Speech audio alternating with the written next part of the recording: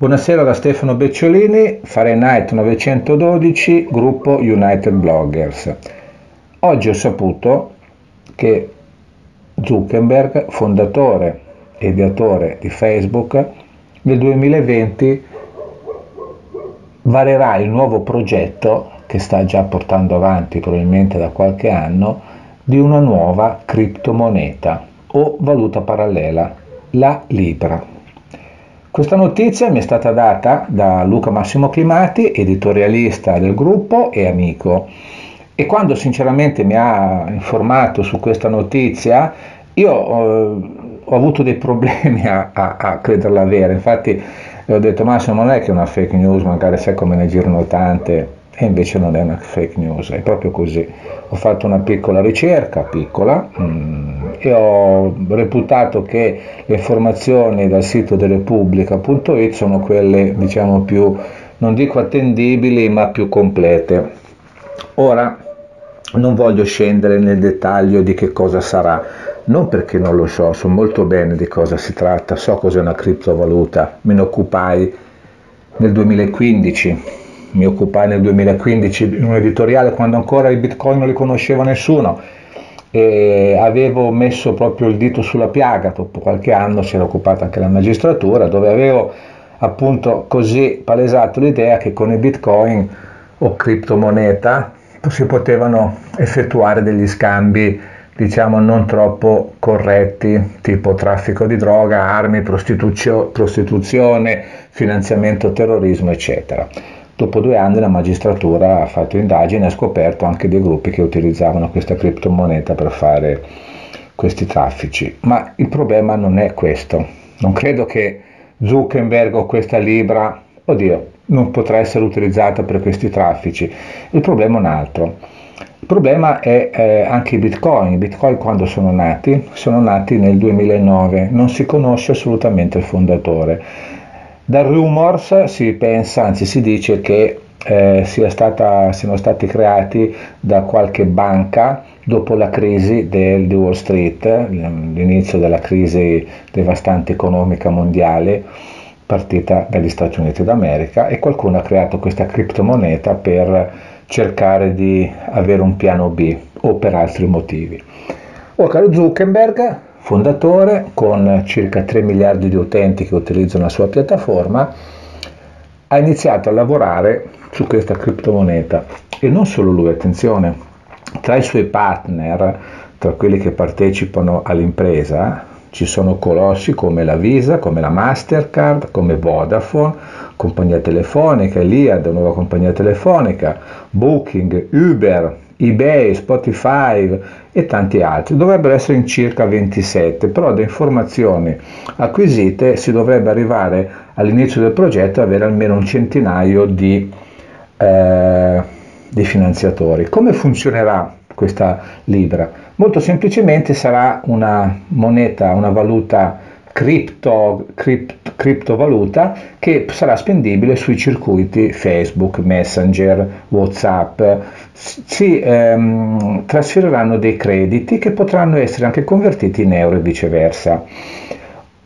Ora, quale sarà? Qual è la base? La base per creare questa criptomoneta? Sono dei titoli veri e propri, come dice Zuckerberg, ci saranno dei titoli sicuri che garantiscono l'affidabilità di questa moneta criptomoneta, non chiamiamola più moneta.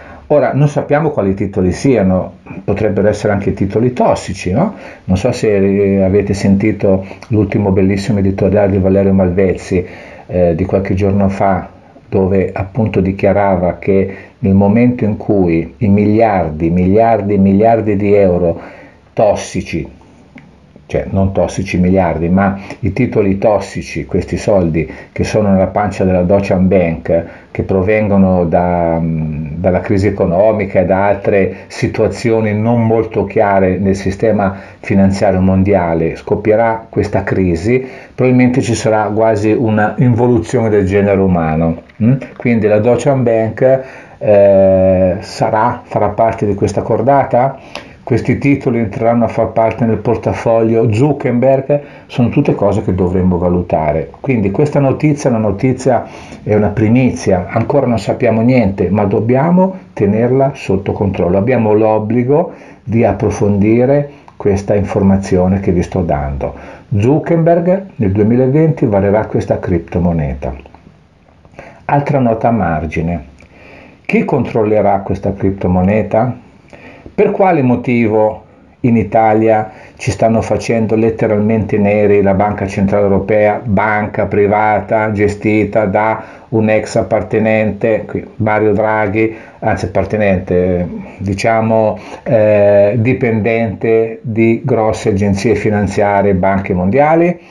Ora, chi la controllerà? Noi ci stanno facendo neri con i mini bot. Noi non possiamo stampare mini bot come titolo di scambio eh, interno, quindi non può essere spendibile all'estero ma solo internamente per pagare i debiti dell'amministrazione pubblica. Ci stanno praticamente minacciando che se continuiamo di questo passo ci mandano la troica e ci riducono peggio della Grecia, quindi sono minacce vere e proprie a 69 milioni di italiani e ci sono dei gonzi che vanno dietro a tutti quelli questa è la mia opinione, eh? logicamente um, ci sono tanti gonzi che vanno dietro radical chic che dicono che noi dobbiamo rimanere in Europa e i mini bot sono una grande fregatura, eh, non vanno assolutamente bene per l'economia perché sono pure illegali e questa è una parte di società che la dice, non dico che sono i comunisti, non c'entra niente ma una parte di società, quelli che stanno bene, quelli che non hanno bisogno dei mini bot probabilmente, e però, però si permette anche, quindi, eh, anche la Banca Centrale Europea eh, permetterà a Zuckerberg di poter irrorare il mondo intero con questa nuova valuta che non sappiamo la provenienza. Quindi chi garantirà l'affidabilità? Perché conoscendo il popolo della rete, io so molto bene che nel 2020, quando inizierà a girare questa spazzatura, ci sarà un sacco di utenti veramente che la utilizzeranno. Ecco, quindi noi non so nel 2020 l'Italia a che punto sarà, che livello sarà a livello economico, sociale, ma però se andiamo avanti di questo passo stiamo andando veramente verso il baratro. Io personalmente spero proprio di non essere costretto a usare nessuna criptomoneta, anzi vi dico la verità, meno carte di credito si utilizzano, meno bancomat, ma più contanti meglio è.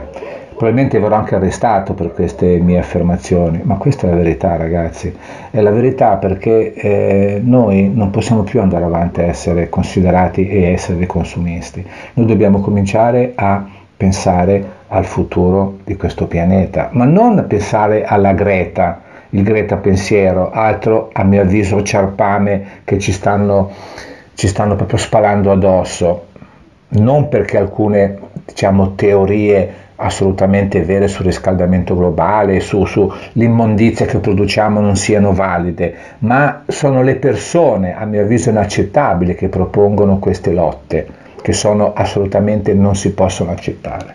Quindi stiamo lottando contro tutto quello che potrebbe fare bene alla nostra società, ma andiamo dietro a questi personaggi come Zuckerberg che hanno fondato un impero eh, economico, giustamente, eh, fa parte del gioco, eh, utilizzando probabilmente anche dei finanziamenti come qualcuno pensa che, che siano sta, della, della C americana o comunque di, di, di, di agenzie americane poco chiare perché eh, Facebook è caduto anche nel tranello, anche nell'inganno della privacy.